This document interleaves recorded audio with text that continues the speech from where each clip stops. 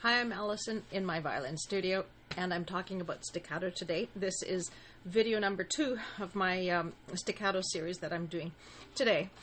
Um, I want to talk about bow speed. Okay, when you do staccato, um, y- you know sometimes some people get hung up on details.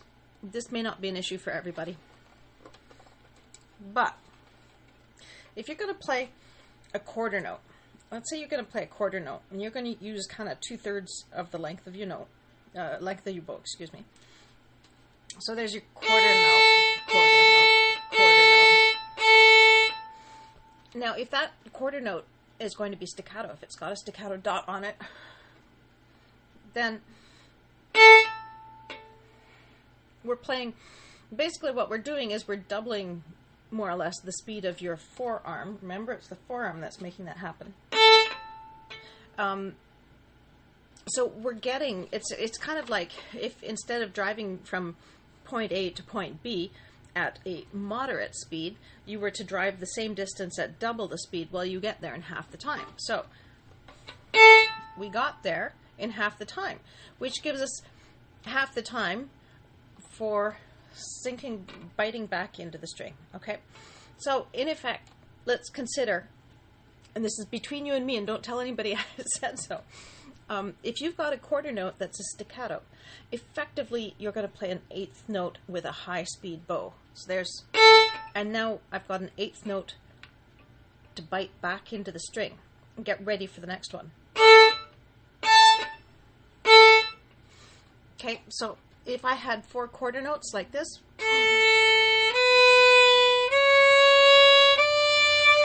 and I do it in and um, staccato instead, and and and and.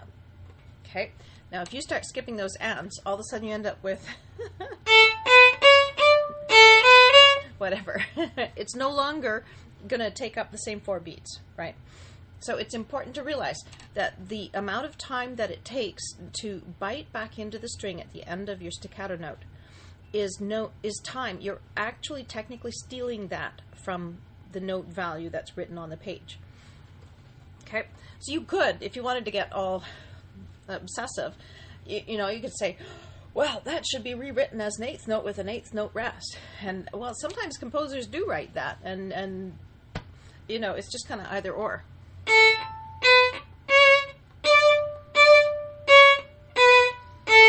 So, I want to point out to you that when you play with your bow going twice as fast, that's a high velocity note.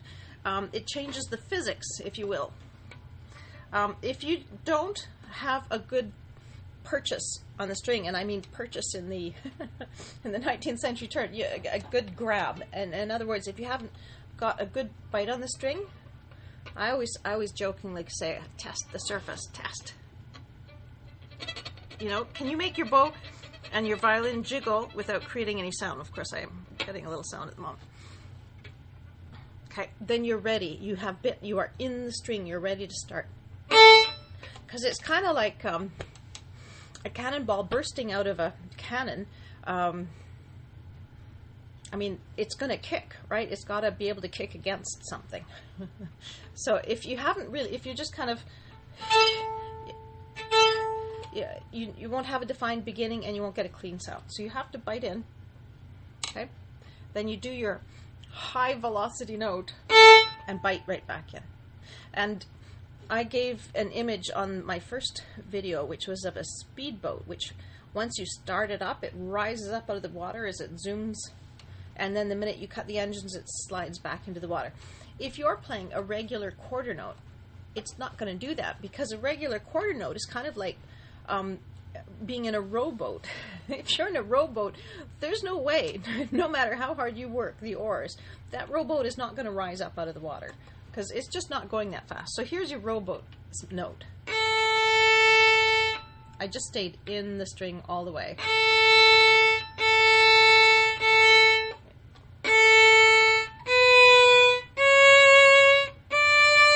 Okay, those are rowboat notes. Those are low velocity, uh, low speed, just regular quarter notes.